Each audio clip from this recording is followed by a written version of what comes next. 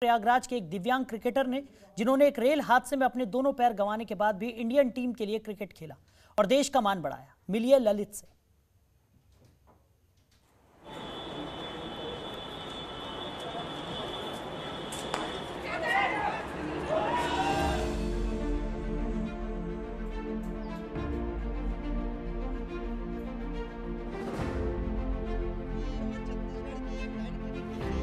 जिस मुल्क में क्रिकेट एक खेल नहीं, बल्कि धर्म हो और क्रिकेटर किसी भगवान की तरह पूजे जाते हो, उस देश में हर नौजवान का सपना होता है बड़े मैदान में गेंद और बल्ले की जंग के दौरान विरोधियों के होश फाख्ता करने की।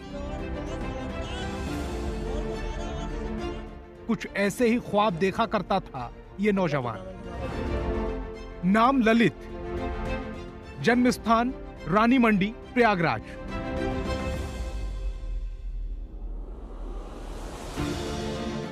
ललित बचपन से ही गेंद और बल्ले के दम पर बुलंदियों पर पहुँचने के सपने देखा करती थी। और साल 2000 में उनके ही शहर से निकले क्रिकेटर मोहम्मद कैफ ने जब इंडियन क्रिकेट टीम की कैप पहनी तो जैसे इन सपनों को पंख लग गए हों।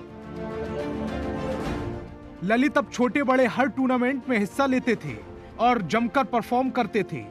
इस उम्मीद के साथ कि मोहम्मद कैफ की तरह उनके सिर पर भी इंडियन कैप होगी और जिस्म पर होगी ब्लू जर्सी। जिसके आगे लिखा होगा, इंडिया। इन ख्वाबों को हकीकत में बदलने का समय आता, उससे पहले एक बड़ा हादसा ललित का इंतज़ार कर रहा था। साल 2012 में ललित एक ट्रेन हादसे का शिकार हो गए और अपने दोनों पैरों के साथ ख्वाबों के सच होने की उम्मीद भी गवा बैठे। मुझे क्रिकेट खेलने का शुरू से ही शौक था। बचपन से ही मैं क्रिकेट खेलता था। गली मोहल्लों में काफ़ी नाम कमाया। लेकिन ज़िंदगी में एक ट्रेन दुर्घटना होने के कारण मैंने अपने दोनों पैर गंवा दिए।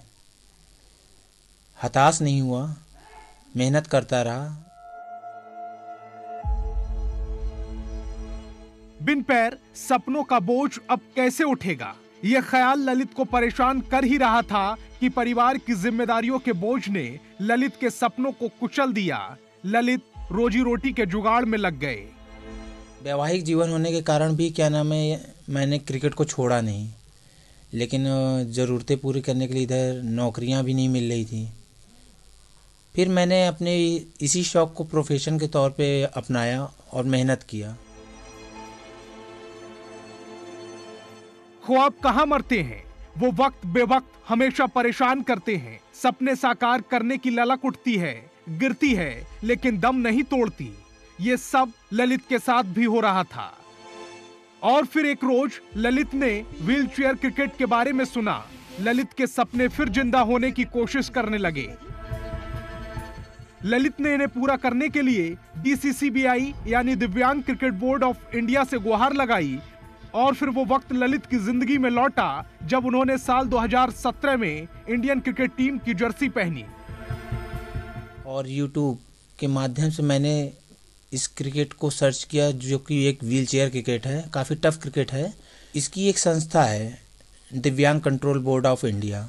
उसके फाउंडर मिस्टर हारून रशीद जी हैं, उनको मैंने संपर्क किया और उन्होंने मुझे क्रिकेट में एक मौका दिया, मुझे अपने जौहर को आजमाने का।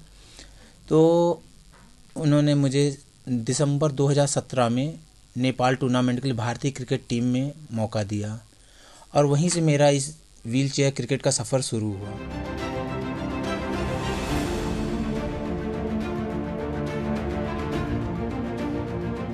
ललित इंटरनेशनल क्रिकेट के लिए पहली बार 2017 में चुने गए। उन्हें नेपाल, भारत और बांग्लादेश के बीच खेला गया त्रिकोणीय टूर्नामेंट में दिव्यांगों की टीम में शामिल किया गया था। जहाँ उन्होंने शानदार प्रदर्शन किया और फिर उनका क्रिकेट कैरियर चल निकला। इसके बाद ललित ने 2018 में Goregaon stadium, Mumbai bilateral series Bharat और बांग्लादेश के साथ साथ और कई नेशनल और इंटरनेशनल क्रिकेट टूर्नामेंट में अपना जौहर दिखाया। उनके नेशनल और इंटरनेशनल क्रिकेट परफॉर्मेंस को देखते हुए जून 2019 में ललित को उत्तर प्रदेश क्रिकेट टीम का कप्तान बनाया गया। इनका सपना था कि हम मैच खेलें। इसी कारण से ये गए और इनका सिलेक्शन हो गया मैच में। और ये मैच खेले भी और जीते भी। और मेरी यही गुजारिश है भाई मतलब सभी लोगों से कि इनको मैच को मान्यता दी जाए और ये मैच को आगे बढ़ाया जाए। और हम भारत इसी मतलब सभी भाइयों से कहते हैं कि मतलब इस मैच को जितने खिलाड़ियाँ हैं, उनको मान्यता दी जाए। ललित ने साबित कर दिया कि जहाँ चाह होती है, वहाँ राह निकल ही आती है। पंखों से कुछ नहीं होता, हौसलों से उड़ान होती है। हौसले, यही तो थे उसके पास, जब वो बिना पैरों के था, और अब वो टीम इंडिया की शान है। Bureau report, Janatantra TV. खबरों के निष्पक्ष विश्लेषण के लिए सब्सक्राइब करें Janatantra TV and press the bell icon. Never miss any update